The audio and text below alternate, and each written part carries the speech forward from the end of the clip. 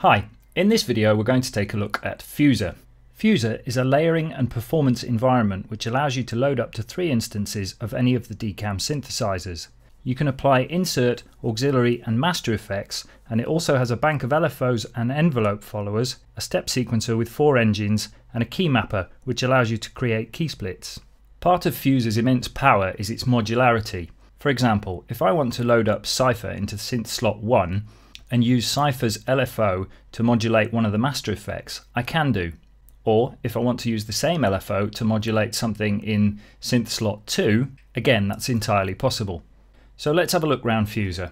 What we're looking at here is the global page. The global page is where you're going to spend most of your time when you're not directly tweaking synth or effects parameters or messing around with the step sequencer. The first thing to note here is that Fusor is multi-timbral, so it can receive on 16 different MIDI channels. And we can set up how Fusor responds to those MIDI channels.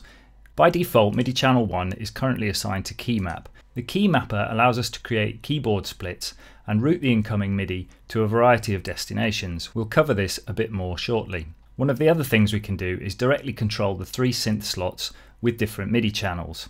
For example, here we've got MIDI channel 2 controlling synth 1, MIDI channel 3 controlling synth 2 and MIDI channel 4 controlling synth 3. You can also send MIDI channels direct to any of the sequencer engines. Let's start by loading in a synth. I'm going to load Amber into slot 1 and pick a preset.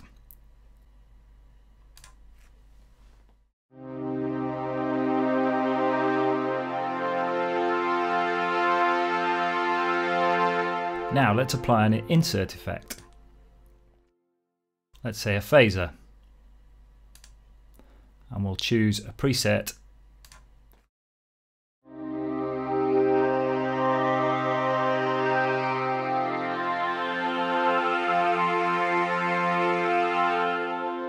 Now let's add some reverb.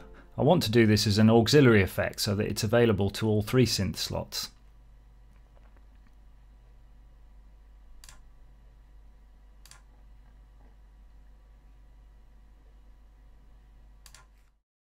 This is where I can send varying amounts of this channel to the auxiliary send 1.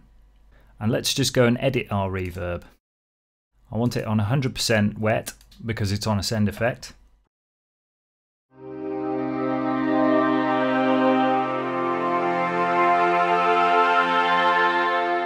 Let's increase the size a little bit and the time.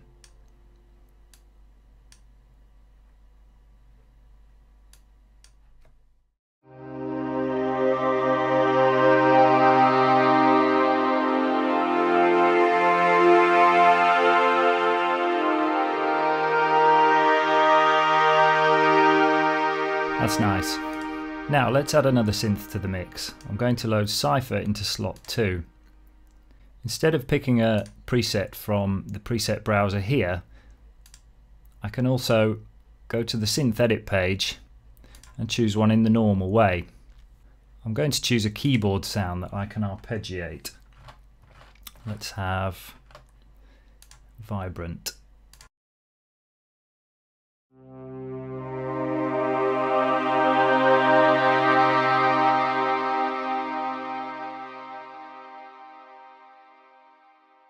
You'll notice that we're not hearing synth 2 there. Let's take a look at the key map page. Currently, our only active key map is going straight to synth 1 and not 2. So if we activate 2, you'll hear the Cypher patch there.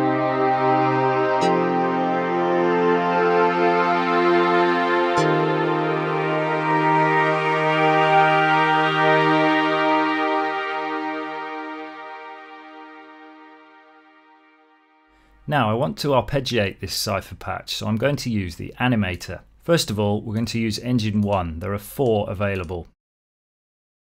And I'm going to switch it to arpeggiator mode. Maybe have a two octave range and a forward and reverse style. And I want the destination to be synth number 2. Again, you'll notice we can't hear the arpeggiator yet.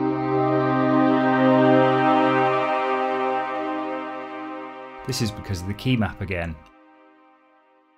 Currently my MIDI channel is routed straight to synth 1 or 2, but what I want to do is route it to Animator Engine 1. And the final thing I need to do because I'm hosting Fusor in Live, is activate Live's transport panel. When Fusor is hosted as a plugin, its master transport controls are linked directly to the host master transport controls. So now we should be able to hear our arpeggio.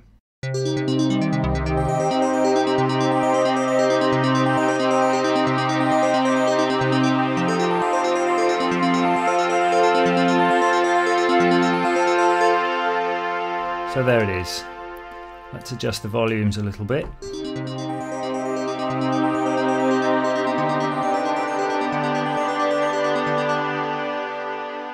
And let's apply some delay to that.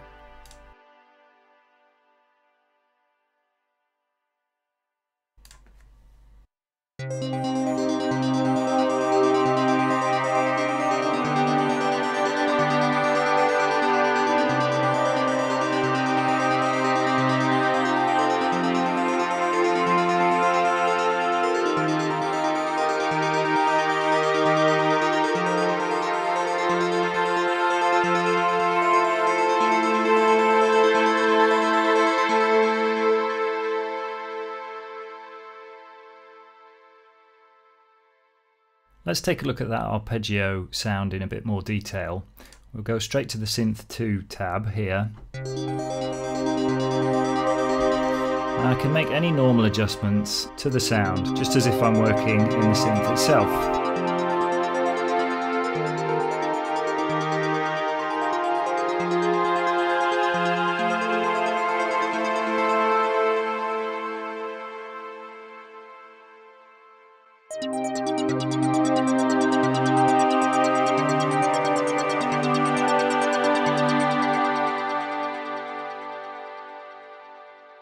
It's worth noting that any changes you make within Fusor to the synths themselves do not affect the master synth preset that we loaded. If I was to save this whole Fusor preset, the preset keyboard vibrant from the Cypher library wouldn't be affected at all. So let's say we wanted to split these two synths across the keyboard. In the keymapper page, we'd create two key maps. We'd send one to synth 1 and one to animator engine 1. We're going to have our pad sound below the C3 key and we're going to have our arpeggio sound above it.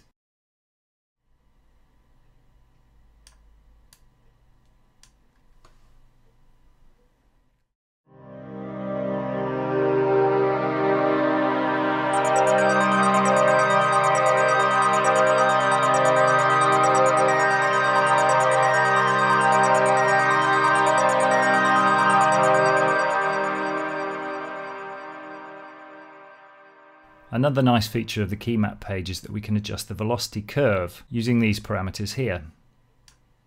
Finally, let's take a look at the 8 macro performance knobs up here.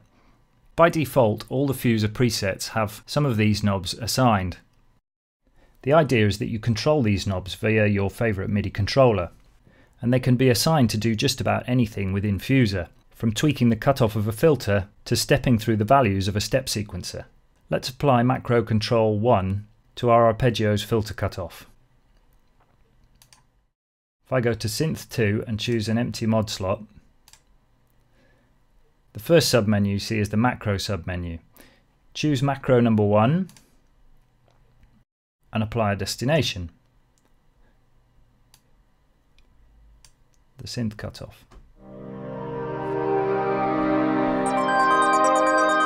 Now, when I tweak macro 1 from my controller keyboard,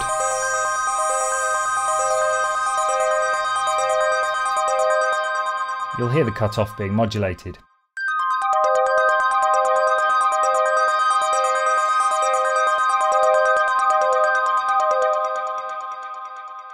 And I can name the macro there.